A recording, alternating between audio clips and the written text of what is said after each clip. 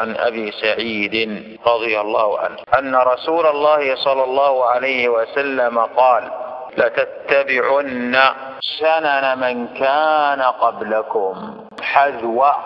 القذة بالقذة. حتى لو دخلوا جحر ضب لدخلتموه قالوا يا رسول الله اليهود والنصارى. قال عليه الصلاة والسلام فمن؟ ولو قال قائل هذا الحديث خبر أم إنشاء أعطيكم فائدة. أولا ما هو الطلب؟ مر معنا في النحو والبلاغيون يخرجون شيئا واحدا لكن ما مر معنا في النحو هو الإنشاء المعتد به عند البلاغيين. خمسة. أمر ونهي وتمني واستفهام ونداء. وما عدا هذه الخمسة فهي خبر. هنا خبر أم طلب يمكن أن تعرف هذا السياق أو هذا النص. هل هو خبر أم طلب من وجهين؟ أحدهما مر معنا. خبر لما؟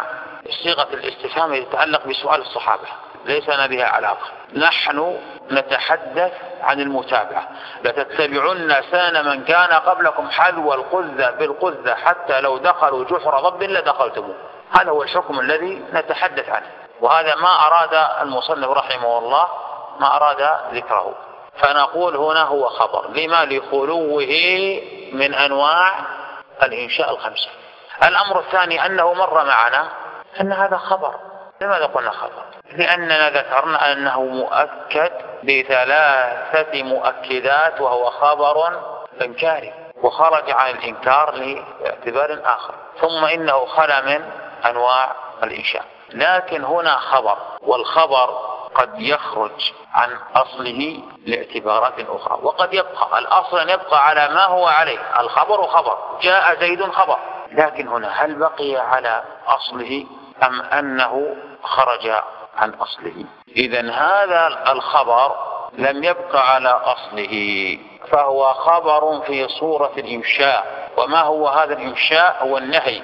فهو عليه الصلاة والسلام لا يريد إقرار الأمة على متابعة الأمم السابقة وإنما أراد التحذير والنهي. مثال ذلك مرت معنا أشياء كثيرة منها قول النبي عليه الصلاة والسلام لا تقوم الساعة حتى يقل العلم ويكثر الجهل. هل المراد منه الإقرار؟ تحذير والنهي عن التكاسل عن طلب العلم.